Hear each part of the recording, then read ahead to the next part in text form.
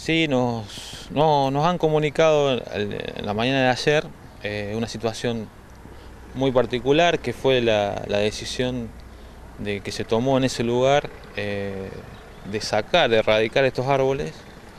Desde el área de arbolado público eh, no teníamos conocimiento exacto de lo que estaba pasando, así que nos llegamos al lugar, tratamos, yo traté de, de comunicarme con el encargado y me derivaron a los arquitectos responsables.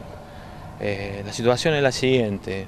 Eh, desde un principio que estaba esa obra en construcción, se erradicaron dos o tres árboles que estaban en los ingresos, que estaba planificado así la obra, y después había una planificación a futuro de elegir árboles que estaban, eh, digamos, doblándoles esquina, elegir y sacar los más débiles para reemplazarlos pero fue una charla, no fue, digamos, eh, no se planificó ni qué árboles se iban a, reemplazar, ni la fecha cuando se iba a sacar estos árboles.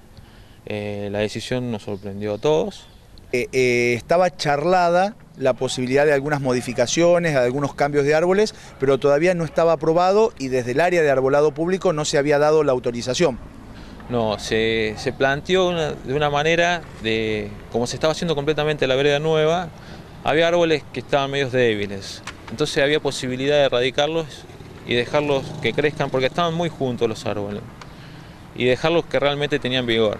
Pero se charló en ese momento. La ejecución de sacar qué árbol o qué cambiar o qué poner, no, nunca hubo una planificación de las cosas. Eh, por eso me sorprendió cuando llegué ahí. Yo con Fernando había hablado, ¿sí? pero nunca dijimos, o él nunca me, dijo, vamos a ejecutar esto a fines del año.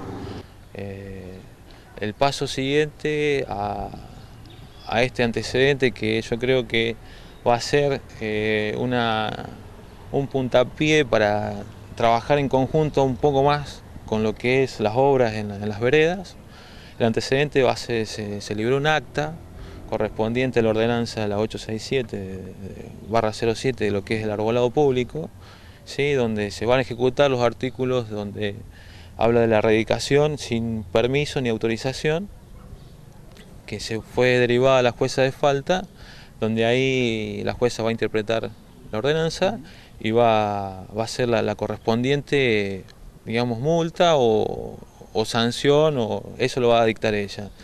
Eh, yo quiero dejar en claro que de todo este año eh, no, se, no se hizo multa, digamos, porque hubo una transición del conocimiento de la ordenanza que ya hace varios años que está, pero es como que nunca tuvo fuerza de ley o nunca se implementó en Corral de Busto tan fuerte como la estoy tratando de poner ahora.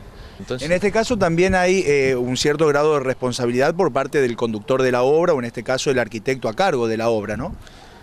Sí, eh, digamos que hubo, yo digamos que hubo una confusión, eh, yo no creo que lo hizo adrede, no hubo una mala conducción, simplemente fue una mala decisión.